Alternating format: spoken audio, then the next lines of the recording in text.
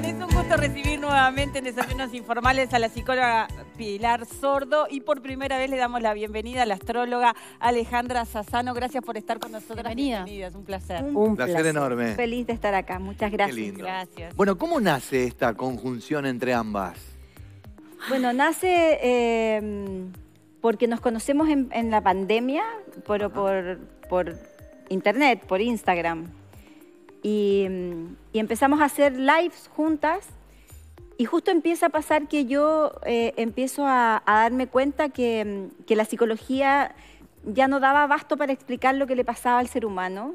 Eh, creo que hoy día lo que, los temas que están preocupando a la humanidad, que son el tema del amor propio, el tema de los duelos y el tema del propósito de la vida, que son los tres que yo he estudiado este último tiempo, no alcanza la psicología por sí sola. Entonces empezamos, nos hicimos muy amigas, somos como hermanas, y empezamos a, a, armar cosas juntas hasta que se nos ocurre empezar a transmitirle esto a la gente, porque lo estábamos hablando entre nosotras. Eh, y, y nada, y decidimos compartirlo. Eh, Ale vive en, en Madrid, en España, y, y yo he ido, bueno, he ido a España porque empecé a trabajar allá también. Así que nada, eh, empezamos a hablar y armamos este Siente, Conecta, Manifiesta, que es el que hoy y mañana vamos a... Y que la gente recibió muy bien. Sí, O sea, se, se copó tanto como ustedes con esta propuesta que, que estaban haciendo. ¿Cómo fue para vos eh, este intercambio? Fíjate que es increíble porque a veces pensamos que la psicología va de un lado, la astrología va del otro, y yo creo que todo está de la mano. Está conectado. Es un momento donde nos están pidiendo conectar con esa emoción más profunda para que manifestemos lo que anhelamos. Cada uno lo, lo busca desde su propio camino. Entonces conectar con Pili ha sido para mí un reencuentro con, con lo que yo realmente también soy. No digo que soy psicóloga, sino soy una amante absoluta de conectar con los seres humanos para que cada uno pueda manifestar lo que desea. Y de eso se van a llevar el 3 y el 4 de mayo en ese espacio en el Galpón donde lo- se van a llevar una gran experiencia para que vean que no hay límites. No, son como especies de techos de vidrio que vamos a ir rompiendo y cuando salgan de ahí se van a dar cuenta que sí, sí se puede realmente vivir lo que tú tanto has anhelado en el momento más trascendental de la Ahora, historia. ¿me explicás por qué pasaste de estar loca a estar de moda? Ay, gracias, qué buena pregunta. Me encanta tu pregunta y te digo algo, realmente mis hijos se ríen porque dicen, mamá, mientras más locuras dices, más de moda estás. Pero cuando estaban pequeños me decía, mami, yo llego a la casa de mis amigos y no hacen las cosas que en la casa hacemos, creo que estás loca. Ahí nace eso. El año 2023 marca el que podemos estar en este hermoso espacio en Desayunos Informales hablando de algo que hace muchos años atrás era una especie de tabú, la Claro. astrología o, los- o- o hacer un ritual. Y la realidad es que el año 2023 marca el inicio de que los seres humanos merecemos vivir desde lo que deseamos al, de- al salir de los condicionamientos mentales. La astrología es como cualquier otra mancia, por decirlo así, que te va a ayudar a reencontrarte. Hoy en día ya todo eso está abierto. Mientras más hables de eso, pues más nos pueden invitar a programas como estos a decir, sí, sí se puede darnos cuenta que somos más que un signo solar. Claro. Y de eso se trata, o de eso vamos a hablar. Por eso es que yo creo que mi amada Pili, pues hemos hecho ese match tan bonito, ¿no? Donde ya yo le pregunto, Pili, preguntaste el signo, Y que somos- él sabe el ascendente. somos, somos energía también, ¿no? Y que, Absolutamente. Y que, y que cuánto pesa la luna al momento de nacer y le- los planetas, y que te termina diciendo, bueno, algo no, está solo, pasando. y no solo desde la astrología, porque la neurociencia hoy día también valida un montón de cosas que antes no se podían probar, como por ejemplo, si tú vibras alto o vibras bajo, o tienes una energía positiva o negativa, ya existen hasta electrodos que te lo miden, digamos, y Claro. que está probado en el cerebro, porque que la gratitud, por ejemplo, es una energía de alta vibración, con la cual hoy día vamos a, a trabajar también eh, las dos en el teatro. Eh, entonces, como que cada vez estos temas se empiezan a entrelazar más y empieza a, desmistificarse de que, de que la astrología pareciera que Dios no le gusta, eh, que, y que pareciera que la psicología tendría que ser mucho más rigurosa. Yo creo que hoy día los seres humanos estamos tan complejizados en un mundo tan caótico afuera que no nos queda otra que empezar a ordenarnos por dentro. Y ese orden, de alguna manera, tiene que ver con todas estas herramientas que nosotros vamos a entregar hoy y mañana. Y este pedido de, de unión, del trabajo de ustedes, además, ¿ustedes creen que es por- también se acentuó por el tema del- de la pandemia, que la gente busca otros caminos, que el- fue tan movilizador ese, ese momento para el ser humano que, que busca otro encuentro a sí mismo? Yo creo que una de las cosas que dejó la pandemia es el aumento de preguntas. Yo no sé si la gente va a tener toda la capacidad de hacer las respuestas y tener el coraje para hacer la acción, ¿no? Pero, pero lo que sí yo puedo apreciar, y sobre todo en el último estudio que estoy haciendo, es que la cantidad de preguntas que la gente se está haciendo son infinitas, de si viven con quien quieren vivir, si están donde quieren estar, si trabajan en lo que quieren trabajar. Y para eso, las respuestas que la Ale puede dar a eso desde su visión o yo desde la mía son absolutamente complementarias o integrativas. Entonces, eso hace que sea aún más lindo el encuentro. Ahora, porque- ¿ha, ha cambiado justamente con respecto a las preguntas de la gente en el tiempo? Porque Sí. siempre, de repente la gente eh, quiere saber, y, y quizá vos me, me podés contestar esto más, más, más acertado. Antes era, bueno, quiero saber salud, trabajo, ¿no? ¿Cómo me va a ir el futuro? Pero más general. Fíjate que yo voy a agregar, antes de contestarte esto, porque la astrología no se trata de predecir lo que va a pasar. La astrología es una herramienta para que tú puedas optimizar lo que tú traes, lo que tú eres, que nos, nos disociamos de lo que somos, nos olvidamos lo que somos, nos pusimos máscaras y aprendimos a vivir un mundo de- desde encajar. Voy a irme un minuto, así rapidito al año 2020, ya que Pili mue- muestra la pandemia. Exactamente el 12 de enero del año 2020 hubo una unión planetaria en el cielo, la cual lo digo para que los seres humanos vean qué sucedió en cada uno de ellos, en donde el gran padre del zodíaco Saturno conectó con Plutón en Capricornio y eso generó el mayor caos en el cielo, por decirlo así.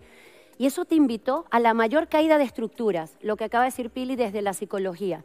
Me empiezo a preguntar, ¿yo realmente soy feliz haciendo esto? ¿Por qué yo agarré un avión desde España para venir hasta acá?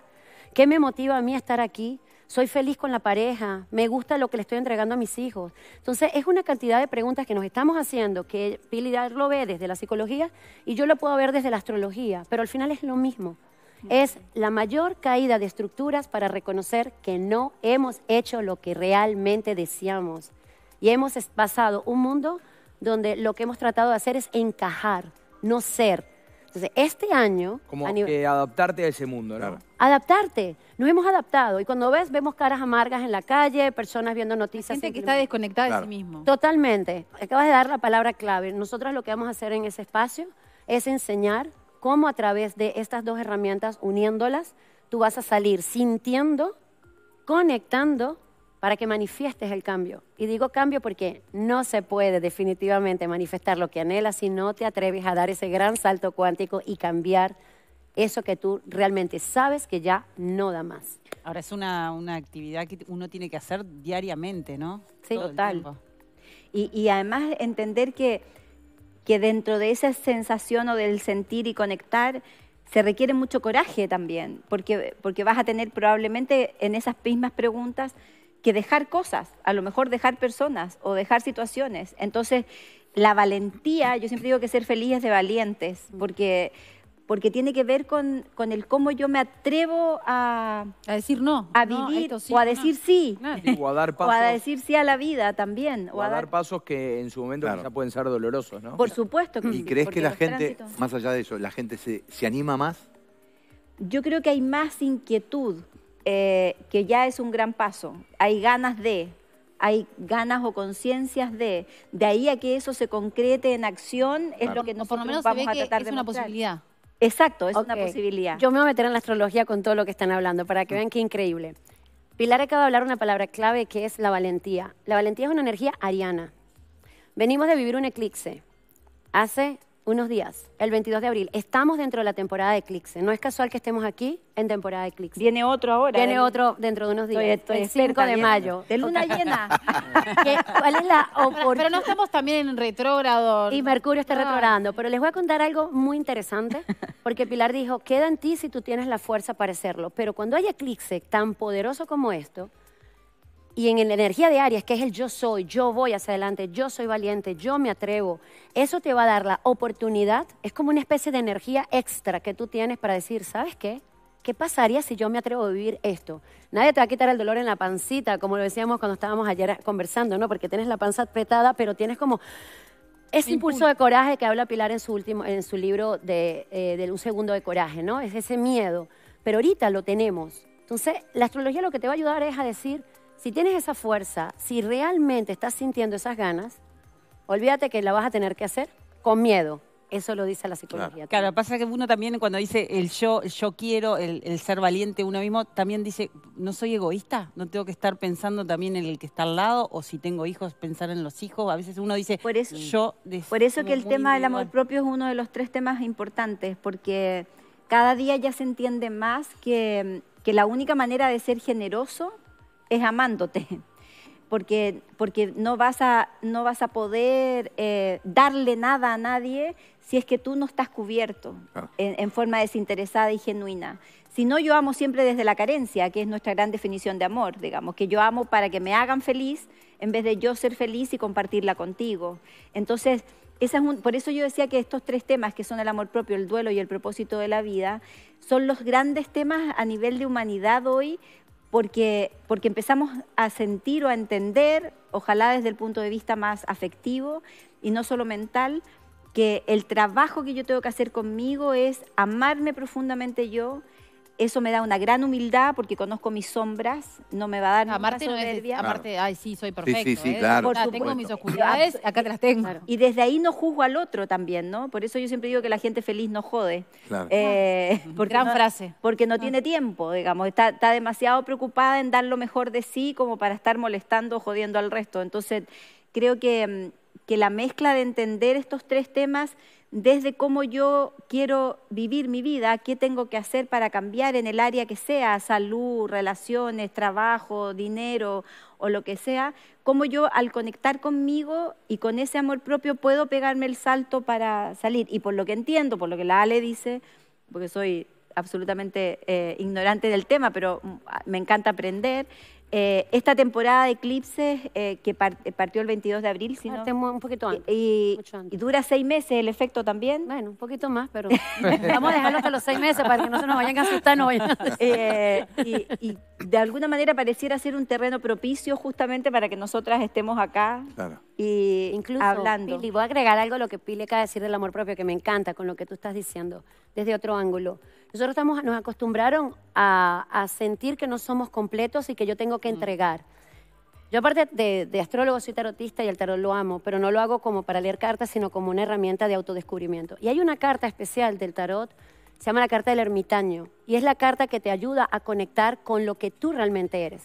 La frase que dice el maestro Osho en esa carta dice, estar en soledad es aprender a estar contigo mismo, estar en solitario es la carencia del otro. Cuando yo estoy en esa entrega cesante todo el tiempo tratando de agradar, ¿qué parte de ti está tratando de encontrar afuera lo que no has descubierto Claro. adentro? Es otra faceta, del es lo mismo del amor propio. Entonces, yo no, le puedo, yo no les puedo entregar a ustedes lo que yo no me he entregado a mí. Yo no puedo hablar de algo que yo no percibo o que yo no siento. Por eso es que Siente, Conecta, Manifiesta será una experiencia para todos. El año pasado, y más, yo lo voy a decir aquí en aire, Pilar y yo nos sentamos cuando terminamos esta conferencia que dimos en La Chile hicimos en Chile. y mm, dijimos, Pili, ¿qué, qué merecemos manifestar? Y las dos pusimos una, una cosita. Yo puse dos. Y las dos están dando. ok, yo, Yo puse puse una, ella, ella, ella es como más grande. Yo dije, yo me voy a conformar con ella. Conformarnos. Claro, Hay la una- psicoanalizaste y pusiste dos. Ella Hay una en proceso y la otra ya está. Ok. Anoche cuando nos reencontramos, habíamos tenido un periodo de, de cada una haciendo cosas. Me quedé mirando y le dije, Pili, mira lo que estoy viviendo. Se me quedó mirando y me dijo, Ale, mira lo que estoy viviendo. Entonces nos quedamos mirando, nos temblaba la barriguita, la pancita, como quieras ver. Ay, y- fue tan lindo. pero hermoso, nos pusimos a llorar y dijimos, ahora sí, vamos a Siente con esta manifiesta, porque tú y yo manifestamos lo que nosotras deseábamos. Lo único que hicimos fue colocar congruentemente nuestros pensamientos, emociones, palabras y acciones. Y eso es lo que se van a llevar. Entonces, si nos están escuchando y quieres manifestar algo especial en tu vida, la temporada de eclipse, lo que se cierra en un eclipse se cierra realmente y lo que se abre en un eclipse se abre. Por lo tanto, este es el momento para que realmente seamos valientes, salir de las emociones que no van, eclipse de luna llena que tenemos el 5 de mayo, y nos permitamos tener el coraje y la valentía para accionar en pro de lo que nosotros realmente sentimos. Muy bien, esto va a ser hoy y mañana, ¿no? 3 y 4 de mayo, 20 horas en el teatro. Hoy y mañana, a las 20 horas, en el Galpón. Muchos éxitos. Ya a esta altura mi teatro. Y Mario te deja. Sí, Mario me, deja. me, da la, me da la autorización. Pilar Alejandra, muchísimas Gracias. gracias. Gracias. muchas Gracias. Gracias. Vamos a la pausa. Dale.